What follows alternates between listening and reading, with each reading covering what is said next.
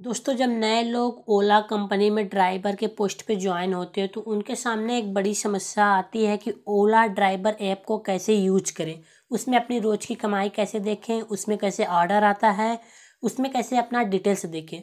जो ये समस्या है, ये लगभग सभी ड्राइवरों के सामने आती है, जो लोग ओला कंपनी में नए होते हैं और ड्राइवर के पोस्ट पे होते हैं। तो इस वीडियो में आज मैं आपको बताऊँगा कि ओला जो ड्राइवर ऐप है, उसमें आप कैसी रोज़ की कमाई देख सकते हैं उसमें कैसे ऑर्डर आता है, जो ऑर्डर आता है, उसके बाद मान लीजिए मैंने ओला बुक किया और आपके पास ऑर्डर गया तो आप कैसे उस ऑर्डर को कंफर्म करोगे? देन उसके बाद उस ऑर्डर को कंफर्म करने के बाद आप मेरे पास कैसे आओगे? उसके बाद मुझसे आपको पैसे कैसे लेना है? ये चीज़ मैं आपको अपने मोबाइल के फ़ोन पे करके प्रैक्टिकल दिखाने वाला हूँ। साथ ही साथ बहुत कुछ आपको बताऊँगा।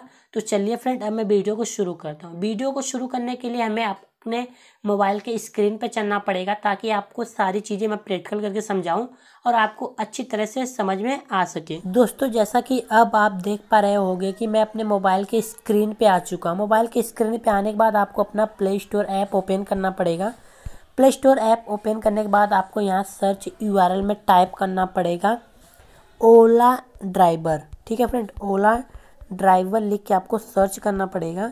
जैसे आप ओला ड्राइवर लिख के सर्च करोगे तो यहाँ देख पा रहे हो कि मेरा नेट बंद है अभी। मैं यहाँ पे अपना नेट जैसे चालू करके फिर यहाँ पे सर्च करता हूँ। तो यहाँ पे एक ऐप आ जा रहा है। यहाँ पे ओपन का ऑप्शन आ रहा है मेरे में बट आप में इंस्टॉल का ऑप्शन आएगा। यहाँ पे पूरे पे इंस्टॉल का ऑप्शन आएगा। तो आप इंस्टॉल कर लेना देन ओपन करना। जैसे आप ओपन करोगे इस ऐप को तो आपके सामने इस तरह का पूरा इंटरफेस ओपन होके आएगा।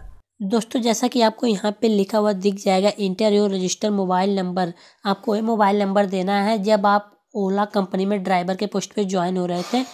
जो मोबाइल नंबर दिया, आपको इसी में मोबाइल नंबर टाइप करके यहाँ से कंटिन्यू वाले ऑप्शन पे क्लिक कर देना है। कंटिन्यू वाले ऑप्शन पे क्लिक करोगे तो यहाँ पे लिखा हुआ दिख जाएगा O T P has been send your number आपको यहाँ पे अपना ओ टी पी डाल के यहाँ पे वेरीफाई पे क्लिक करना पड़ेगा। जैसे आप वेरीफाई और लॉगिन वाले ऑप्शन पे क्लिक करोगे तो आपके सामने इस तरह का एक पेज ओपन होगा। यहाँ पे लिखा रहेगा ऑफ़ ड्यूटी इसका मतलब अभी आप ड्यूटी पे नहीं हो। और यहाँ पे कई सारे ऑप्शन है, जैसे यहाँ पे ड्यूटी का ऑप्शन है अकाउंट का ऑप्शन है इंसेंटिव का ऑप्शन है, और यहाँ पे पार्टनर्स केयर का ऑप्शन है, और यहाँ पे मोर का ऑप्शन तो कई सारे यहाँ पे ऑप्शन दिए हुए पहले मैं ऑप्शन के बारे में बताऊँगा देन इसके बाद मैं आपको बताऊँगा कि आप को जब ऑर्डर आएगा तो आपको कैसे ऑर्डर को लेना है और उसके पास कैसे जाना है, उससे पैसे कैसे लेना है और कई सारी मैं डिटेल्स बताऊँगा। तो चलिए पहले मैं आपको ऑप्शन ऑप्शन बताते चलता हूँ।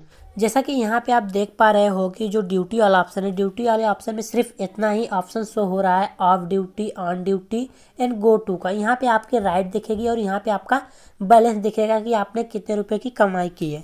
अगर यहीं पे मैं बात करूँ अकाउंट वाले ऑप्शन पे तो जैसे मैं अकाउंट वाले ऑप्शन पे क्लिक करूँगा तो मेरे सामने इस तरह का एक पेज ओपन होकर आ जाएगा जो कि हिंदी में रहेगा। जैसा कि यहाँ पे लिखा हुआ है, खाता सारांश मतलब खाता का पूरा डिटेल्स है। यहाँ पे वर्तमान बैलेंस मुझे देखने के लिए इस वाले ऑप्शन पे क्लिक करना पड़ेगा और मेरा वर्तमान बैलेंस दिख जाएगा।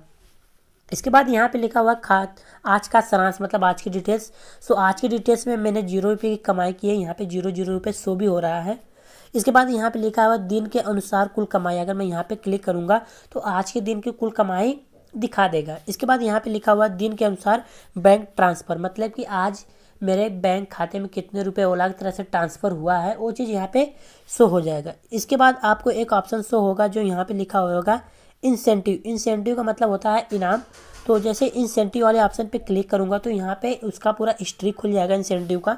अगर आप दिन में सिर्फ़ एक राइड बुक करते हो मतलब कि एक्सेप्ट करते हो तो आपको कोई भी इनाम नहीं मिलेगा, ज़ीरो रुपये का इनाम मिलेगा।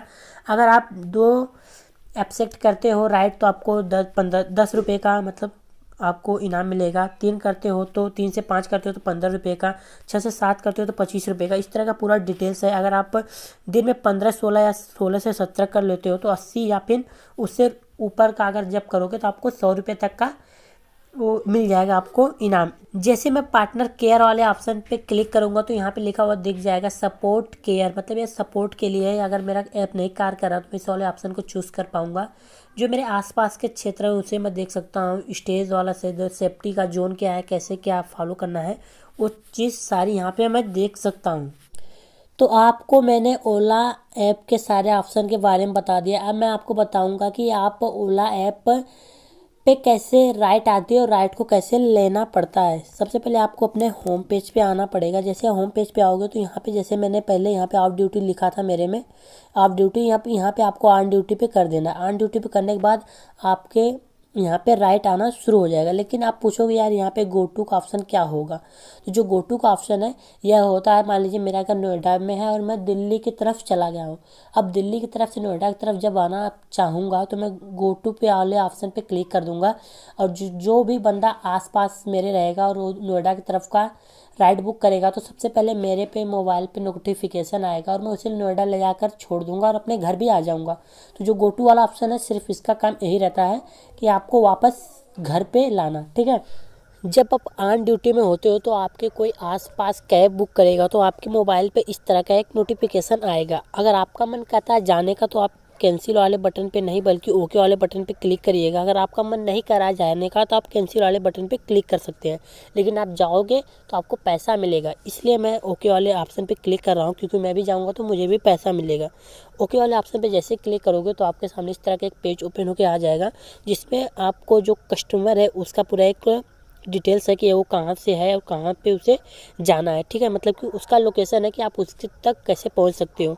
अगर आपको ये लोकेशन नहीं पता है तो आप इस नेविगेशन वाले ऑप्शन को ऑन करके उसका रास्ता मैप में बन जाएगा और उसके सारे से आप उसके पास जा सकते हो। देन जैसे आप उसके पास पहुँचोगे तो ये यहाँ पे मिनट चलना शुरू हो जाएगा या पाँच मिनट का टाइम देता है। अगर पाँच मिनट के बाद कस्टमर आपके पास नहीं आता हो तो आप राइट ऑटोमेटिक कैंसिल हो जाएगी और आपको जो पैसा बनेगा वो ओला की तरफ़ से आपको मिल जाएगा। लेकिन आपको पाँच मिनट तक वेट करना है।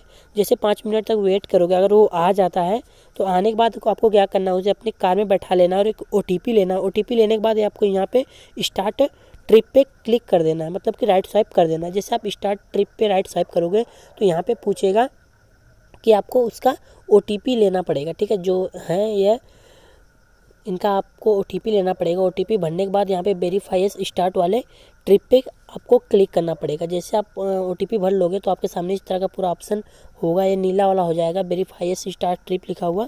आपको इसी पे क्लिक कर देना है। जैसे आप इस पर क्लिक करोगे तो ये दिखा देगा कि वो जो है उन्हें यहाँ से पूरा ऐसे ऐसे करके यहाँ तक उन्हें जाना है। तो इनकी दूरी ऐसे रहेगी।